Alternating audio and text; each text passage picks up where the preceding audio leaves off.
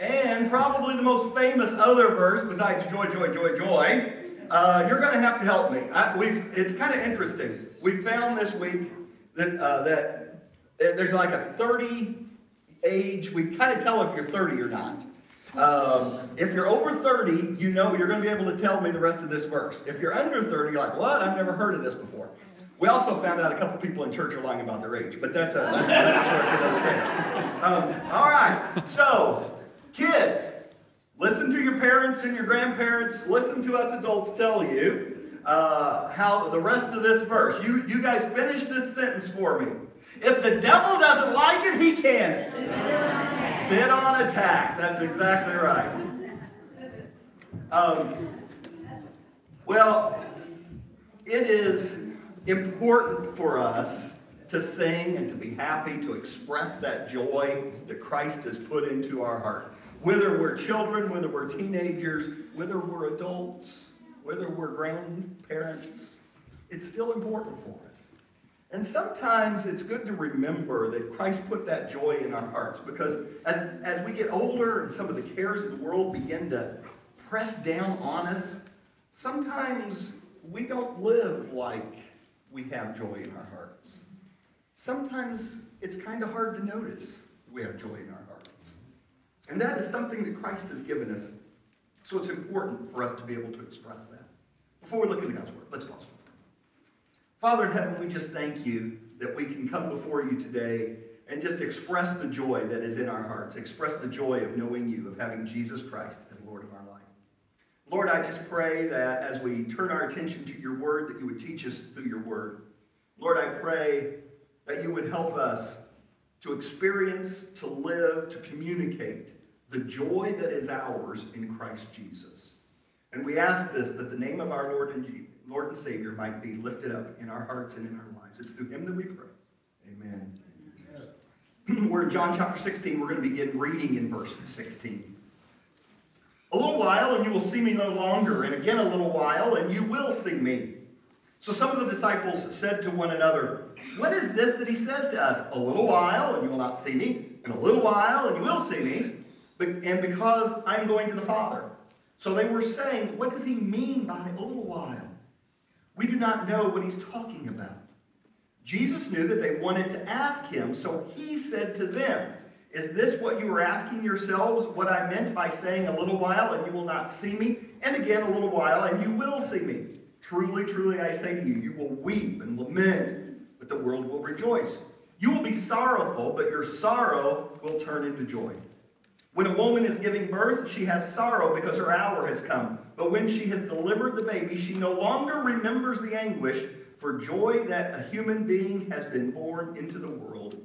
So also you have sorrow now, but I will see you again, and your hearts will rejoice, and no one will take your joy from you. As we look at this passage, remember the context. We are talking about what it means to be living for Jesus. Uh, we began this section, Jesus said he's the vine, we're the branches. We need to live abiding in him. We need to live our lives in Jesus. And then he's kind of talked about what that means, what that looks like to live in Jesus. Well, to love one another. Okay, that's different. Uh, we'll be different from the world if we love one another. And so we saw that. That's, that's what we ought to do. And, and that's something you would think the world would love us for. But no, actually, the world will hate us, Jesus says and they'll try to kill us. In fact, they'll kill Christians and say, hey, whoa, I'm doing a service to the world by killing other Christians. So, how do we deal with that? We're loving one another. We are supposed to be loving people. The world hates us. Well, last week we looked at one of the ways we deal with that. Jesus sends his spirit, and his spirit is convicting the world. Even those same people who are hating us, Jesus' spirit is convicting them, showing them that Jesus loves them and died for them. So we have a partnership with God in, in expressing that love. Well, that's great, but how's that help me every day? How's that help me kind of make it through the day? Well, Jesus shows us another thing that helps us with the fact that the world hates us, and that is He has changed our hearts in many ways. One of those ways is that He has put joy in our hearts. Not only do we have love in our hearts, we have joy in our hearts. Now, to get there, let's remember we will be in jeopardy. Jesus is talking about they need to live with him, abide in him, in the middle of talking about all that. Says, a little while, and you will see me no longer. The disciples think, what does this mean? What does a little while mean? And what does it mean in the context of we won't see him? We see Jesus every day. We live with Jesus. We've walked with Jesus. Everywhere we go, Jesus is there. For three years, it's been Jesus here, Jesus there. Jesus is leading us all around. Now, no Jesus? What, what are we going to do that? Uh, we've devoted our lives to him. We believe he's the one sent from God, and now he's not going to be around. How do we deal with that? And Jesus says it's going to be bad. Jesus says you're going to weep and lament. Yes, it is going to be tough. Um, things are going to be bad. He's obviously referring to the crucifixion. It's going to be so bad that they're going to kill me. I've said the world's going to hate Christians, and they, they hate you because of me. I'm the one they really hate, and they hate me so much they're going to kill me. And at the same time, you're weeping and lamenting. At the same time, this one that you followed around for three years, you've been devoting your life to, is gone. The world is going to rejoice. They're not going to have a Jesus is dead, sorrow, feel bad day. They're not going to make this a holiday. They're going to rejoice because they finally killed me. They're going to say, hey, this is a great thing. If they make it a holiday, it'll be a ding dong Jesus is dead day, not a day of sorrow. And you know, even in this world, even today, the finality of death. There's no way for me to sugarcoat that. I don't want to make it sound like we should never be sad, we should never be sorrowful. Obviously, bad things happen in the world. Bad things happen short of death. People are, are hurt. People are, are in bad situations. And, and, and that causes grief. That causes sorrow. As, as long as we are in the world, there will be sorrow. We know that even Christians are killed. We know in the 20th century, more Christians were killed in the name of Jesus than in the previous 19 centuries combined. It's still going on. If anything, it's worse. We know in our own lives. Sometimes the venom of hate brings grief. That, that people just hate us because we're Christians, because of what we stand for, because we actually do uh, rejoice, because we have love in our hearts. The world just hates that. Causes us to have grief. That's going to happen. That's going to be the case as we live in the world. But it's not the end of this passage.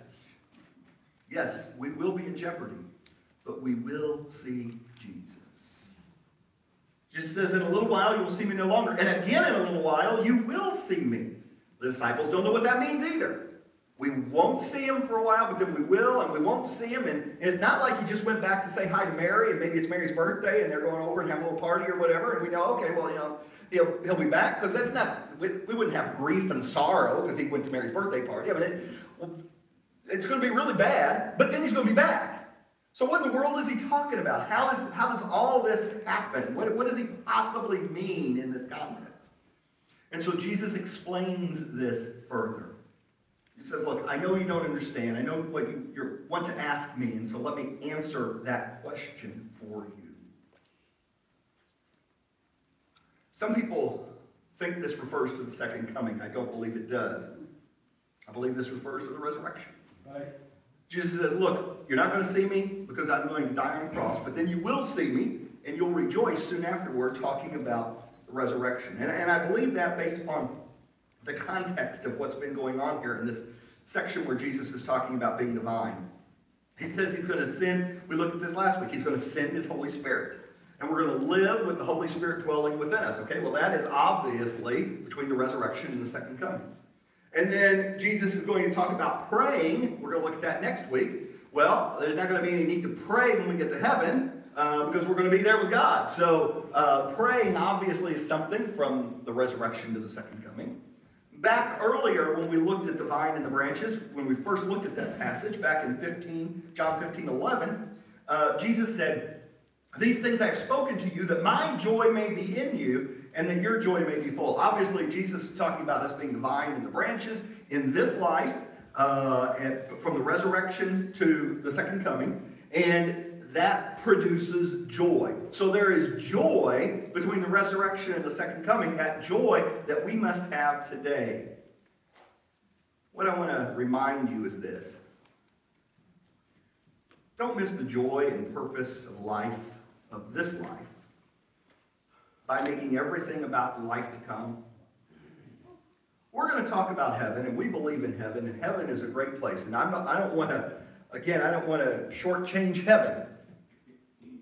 But we have a life right now between the time that we ask Jesus to come into our heart and that time he calls us home. And it's a life filled with joy. It's a life where we walk with Jesus. And let's not miss the joy of that life and what Jesus wants to accomplish in us, what Jesus wants to provide for us as we walk through this life. When we're always thinking about life.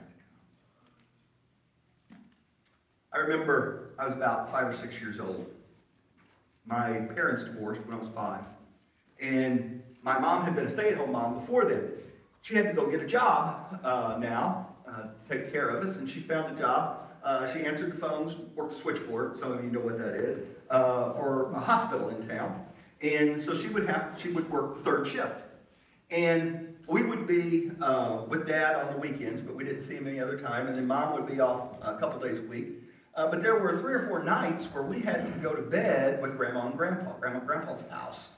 Um, and it was already, I did not like the fact that Dad wasn't around anymore. And then to go to bed without Mom being around, I just really wasn't a big fan.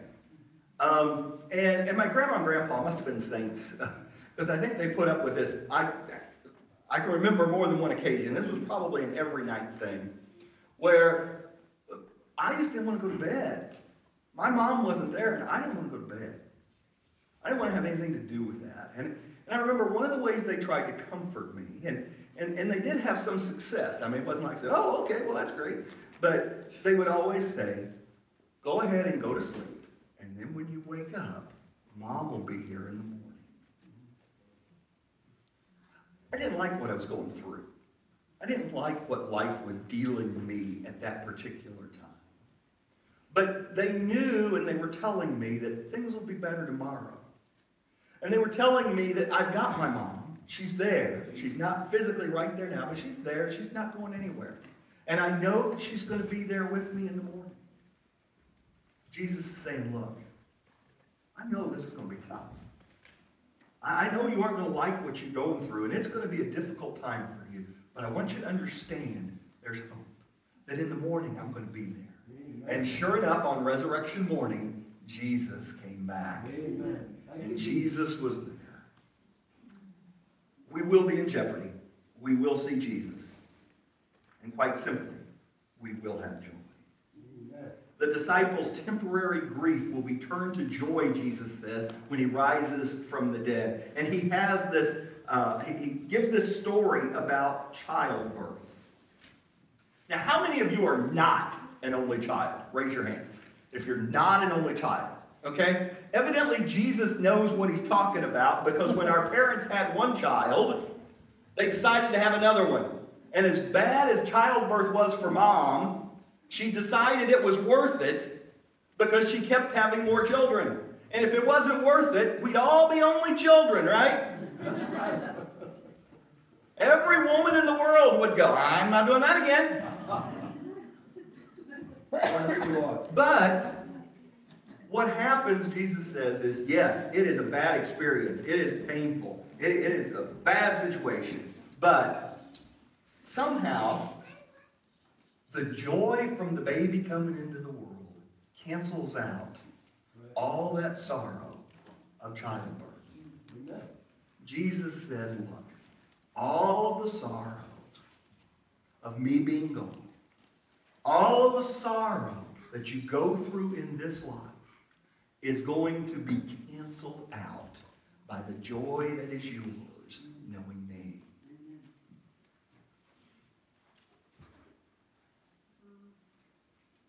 He says a statement that's interesting, that I find incredibly interesting. I think it's important for us to, to think about and to dig down. He says in verse 22, I will see you again, and your hearts will rejoice, and no one will take your joy from you.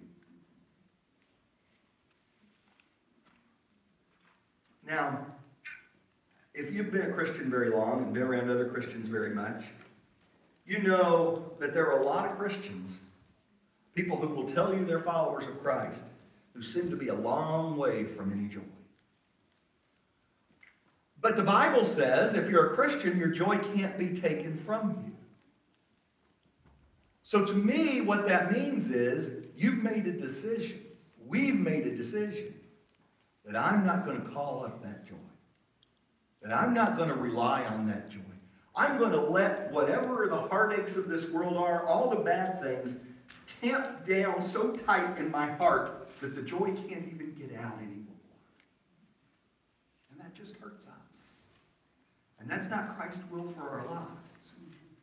Look, Jesus doesn't say, oh, you know, no big deal. Yeah, things are going to be bad, but don't worry about it. He says, no, it's going to be really bad. You're going to be in sorrow. You're going to be, you're going to lament. You're, it is going to hurt. What's going to happen? But I have placed my joy within you. And in the midst of those things, in the midst of those difficulties, you can call on Jesus Christ. And there is joy in life. There is joy even in the midst of grief. How do you access that joy? Well, you see, every one of us has sinned against God. None of us is perfect. None of us is righteous. We have all said, God, I'm in charge here. I'll do what I want to do. And we do that in different ways, but it's all sin. That's what sin is. And when we separate ourselves from the source of all life, when we sin, the consequences of that is death. And that's broken. That's bad. That's sorrowful. That's miserable. Yes. But God doesn't want us to be like that. So, in the fullness of time, He sent Jesus. This same Jesus would eventually die on a cross. And in dying on a cross, He paid the price for all of the sin of all of humanity of all of time. He took death for us. The consequences of separating ourselves from the source of all life is death, but Jesus paid the price for our sin by dying in our place. And then he rose from the dead. He ascended to the Father, where he rules and reigns in majesty. If you will simply admit that you've sinned against God, believe that Jesus paid the price, died on a cross for your sin, and allow the risen Christ to now be the Lord of your life, to rule your life, to be your God, the Bible says you will be saved. See, for those of us who have made that decision, who have received Jesus, the New Testament tells us there will be grief. Romans chapter 12, verses 16 through 25, Paul talks about the grief that we will experience. The Spirit bears witness with our spirit that we are children of God, and if children, then heirs, heirs of God, and fellow heirs with Christ, provided we suffer with him in order that we might also be glorified with him. For I consider that the sufferings of this present time are not worth comparing with the glory that is to be revealed to us. For the creation waits for it with eager longing for the revealing of the sons of God. For the creation was subjected to futility, not willingly, but because of him who subjected it, in order that the creation itself will be set free from its bondage to corruption and obtain the freedom of the glory of the children of God. For we know that the whole creation has been groaning together in the pains of childbirth until now not only the creation, but we ourselves, we have the first fruits of the Spirit, growing inwardly as we wait eagerly for adoption as sons, the redemption of our bodies. For in this hope we are saved. Now, hope that is not seen is not hope, or hope that is seen is hope. For who hopes for what he sees? But if we hope for what we do not see, we wait for it with patience. Creation is is groaning, is, is longing for the day we are reconciled to God and we are part of that creation. We are a new creation in Christ Jesus. We know that. We understand that. There are consequences of sin in this life. There are people who will hurt you because they're sinning. There, there are consequences of sin just because of general sin in the world. That death reigns because there's sin in the world because uh, ever, ever since the fall. So whether it's just general consequences of sin or somebody's sin against you, or sometimes our own sin, the consequences of our own sin, there's sorrow in the world. But God has given us a down payment on joy. The first fruits of joy, and the first fruits is He's placed His Spirit within us. And the joy of knowing Christ and the joy of having a relationship with Him has come into our hearts. Sometimes that grief is not just from sin, sometimes that grief is from testing or from suffering or from something specifically related to our life and our walk with Christ. 1 Peter chapter 4, verses 12 and 13. Beloved, do not be surprised that the fiery trial when it comes upon you to test you, as though something strange were happening to you. But rejoice insofar as you share Christ's sufferings, that you may also rejoice and be glad when his glory is revealed. You know, it's hard to understand, it's hard to really get your mind around. But when someone condemns you, when someone persecutes you, when someone hates you, when someone kills you because you are a Christian, we should rejoice because God has made that kind of an impact in our life. He has changed us so dramatically that the world wants to get rid of us, that the world wants to dismiss us, the world wants to push us aside. It's only the power of God that does that. Yeah. And we should have joy knowing that God can make such a radical difference in our lives. And then we know that sometime we will face death. Hopefully, it'll be a nice, ripe old age. It could be being persecuted. It could be because we belong to Christ. But we know that whenever death comes and the finality of death comes, that we can rejoice because indeed there is joy in the morning. 1 Peter chapter 1, verses 3 through 8, or 3 through 9. Blessed be the God and Father of our Lord Jesus Christ. According to his great mercy, he caused us to be born again to a living hope through the resurrection of Jesus Christ from the dead, to an inheritance which is imperishable, undefiled, and fading, kept in heaven for you, who by God's power are being guarded through faith for salvation ready to be revealed at the last time. In this you rejoice, though now for a little while, if necessary, you've been grieved by various trials, so that the tested genuineness of your faith, more precious than gold that perishes though it is tested by fire, may be found to result in glory, in praise and glory and honor at the revelation of Jesus Christ. Though you have not seen him, you love him. Though you do not see him, you believe in him. Rejoice with joy that is inexpressible and filled with glory, obtaining the outcome of your faith, the salvation of your souls. See,